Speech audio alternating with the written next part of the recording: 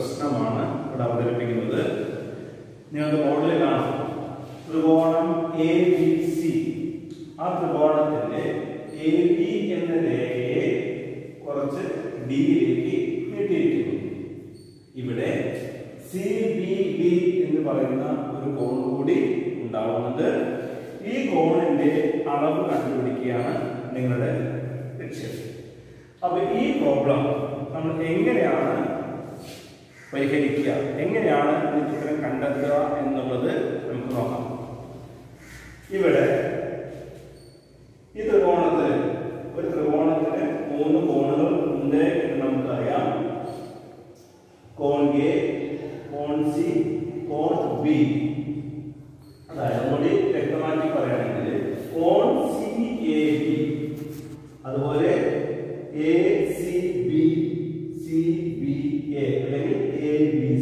C അങ്ങനെ മൂന്ന് കോണുകൾ ത്രികോണത്തിന്റെ ഭാഗമായിട്ടുണ്ട്. അതുകൂടാതെ സി ബി ഡി എന്ന് പറയുന്ന കോൺ ഈ സി ബി ഡി എന്ന കോണാണ് നമുക്ക് കണ്ടെത്തേണ്ടത്. ആദ്യം നമ്മൾ ശ്രദ്ധിക്കേണ്ടത് ഇതിൽ ഏതെല്ലാം കോണുകളുടെ അളവുകളാണ് തന്നിരിക്കുന്നത് എന്ന് നോക്കാം. ആ തന്നിരിക്കുന്ന കോണുകളെ ആദ്യം നമുക്കൊന്ന് എഴുതാം. നോക്കുക. ആംഗിൾ ബി എ സി സമം അമ്പത് ഡിഗ്രി. അതുപോലെ കോൺ എ സി ബി സമം എഴുപത് ഡിഗ്രി. അടുത്തത് കോൺ എ ബി സി നമുക്കറിയോ? ഇത് തന്നിട്ടില്ല അതുപോലെ തന്നെയാണ് കോൺ സി ഈ രണ്ട് കോണുകളും തന്നിട്ടില്ല. നമുക്ക് കണ്ടുപിടിക്കേണ്ടത് ആദ്യം സി ബി ഡി എന്ന കോണാണ് കണ്ടുപിടിക്കേണ്ടത്. അപ്പൊ നമുക്ക് നോക്കുക ഈ സി ബി ഡി എന്ന കോണ് കണ്ടുപിടിക്കണമെങ്കിൽ ഏത് കോണ് തന്നിരുന്നുവെങ്കിൽ നമുക്കത് കണ്ടുപിടിക്കാൻ എളുപ്പമായിരുന്നു ഉറപ്പാണ്. എ ബി സി എന്ന കോൺ. ഈ കോണ് തന്നിരുന്നുവെങ്കിൽ നമുക്ക് ഈ കോണ് എളുപ്പത്തിൽ കണ്ടുപിടിക്കാൻ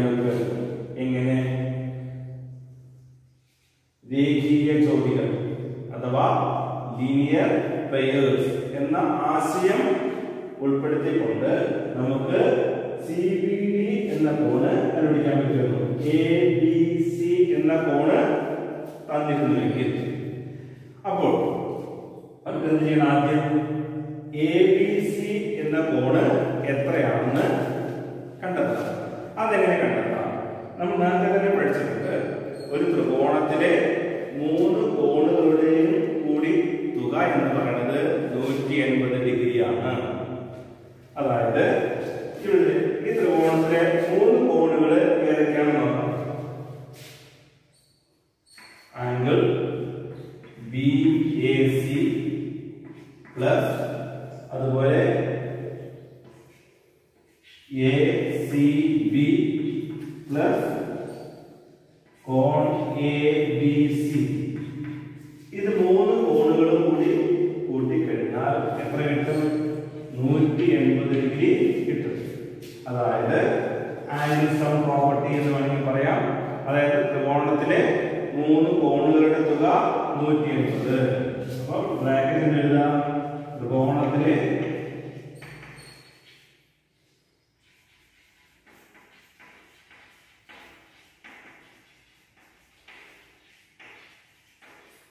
കോണുകളുടെ തുക ഇംഗ്ലീഷിൽ പറയുമ്പോൾ angle sum property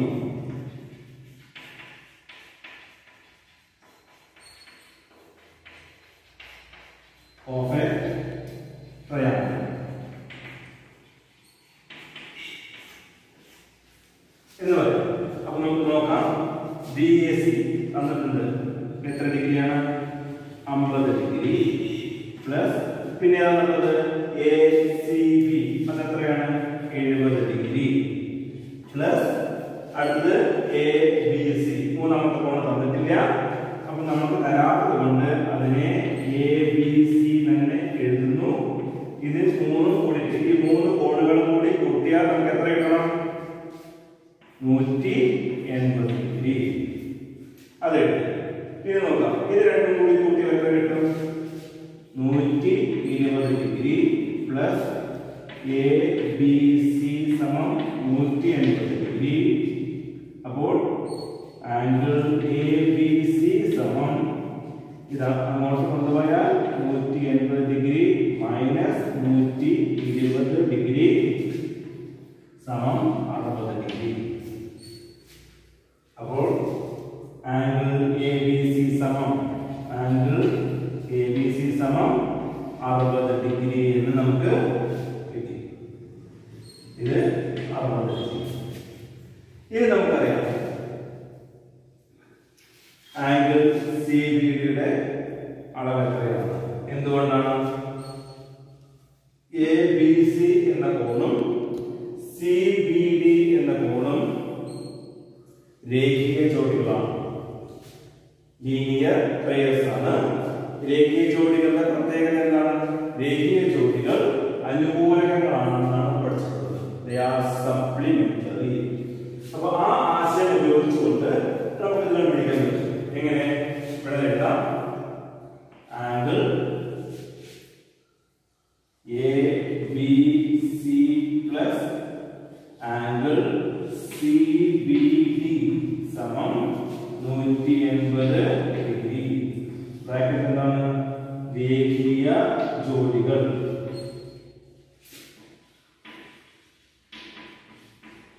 ഇംഗ്ലീഷിൽ പറയുമ്പോൾ ലീനിയർ പെയർസ് എന്ന് പറയും ഇത് നോക്കുക എ ബി സി എത്രയാണ് അറുപത് ഡിഗ്രി പ്ലസ് കോൺ സി ബി ഡി സമം നൂറ്റി എൺപത് ഡിഗ്രി ഇനി അടുത്തത് ഏതാണ് കോൺ സി ബി ഡി അതവിടെ തന്നെ നിർത്തി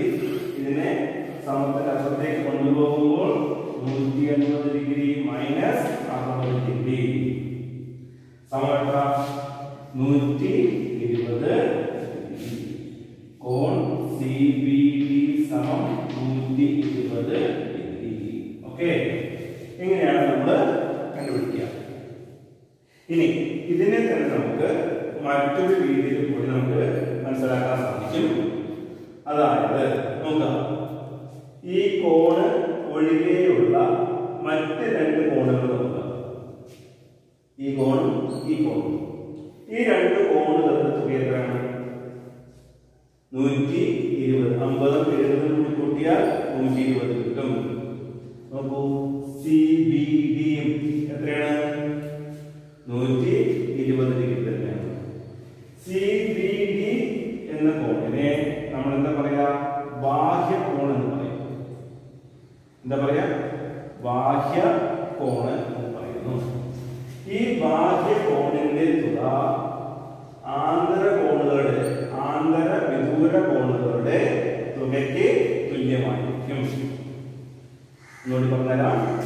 സി ബി ഡി എന്ന് പറയുന്നത് ഇതിന്റെ ബാഹ്യ കോണാണ്. ഈ ബാഹ്യ കോണിന്റെ അളവ് എന്ന് പറയുന്നത് ഈ ത്രികോണത്തിന്റെ ആന്തര വിദൂര കോണുകളാണ്. അല്ലേ? ഇതിൽ നിന്ന് അകലെ കിടക്കുന്ന ആന്തര വിദൂര ആന്തരം ഉള്ളിൽ. ആന്തര വിദൂര കോണുകളുടെ തുക അമ്പതും എഴു- എഴുപതും കൂട്ടിയാൽ